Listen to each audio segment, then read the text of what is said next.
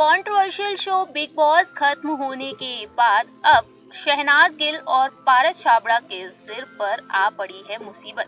जी हाँ दोस्तों, आपको बता दें कि इस रियलिटी शो के बाद मेकर्स ने नया रियलिटी शो इन दोनों को ऑफ़र किया और ये शो है मुझसे शादी करोगे। इस शो में पारस और शहनाज गिल का स्वयंवर रचा जा रहा है तो वहीं यहाँ पर शो में ये दोनों अपने पार्टनर की तलाश में जुटे हुए हैं। नेशनल टेलीविज़न पर देखा जाए तो ये स्वयंवर अब लोगों को बिल्कुल भी रास नहीं आ रहा है। और यहाँ पर खबरें आ रही हैं कि पारस शहनाज का ये स्वयंवर जल्द हो सकता है बंद। जी हाँ दोस्तों, आपको बता दें, रिपोर्ट्स के मुताबिक सामने आया है, पारस और शहनाज की शादी नहीं हो पाएगी। दरअसल, शो को बाइकआउट करने की डिमांड हो रही है और लगातार फैंस इसे बैन करने की मांग कर रहे हैं। वहीं आपको बता दें कि मेकर शो को शायद जल्दी ही खत्म कर सकते हैं।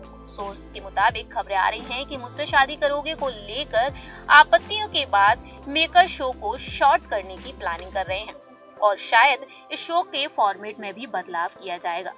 देखते हैं कि यहाँ पर किसी की शादी होगी या फिर नहीं, या फिर शो को कॉमेडी एंगल दिया जाएगा।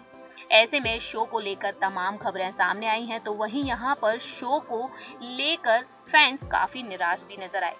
जैसा कि आप सभी जानते हैं कि शो की शुरुआत से ही फैंस इस शो के खिलाफ थे और वहीं फैंस की नाराज़गी अब भी दूर नहीं हो रही है।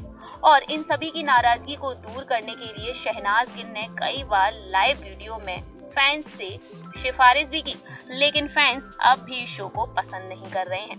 वेल आप क्या कहते हैं शो को लेकर या बता सकते हैं कमेंट सेक्शन में। तब तक के लिए आप देखते रहिए नेक्स्ट नाइन न्यूज़ से प्रांशी की रिपोर्ट।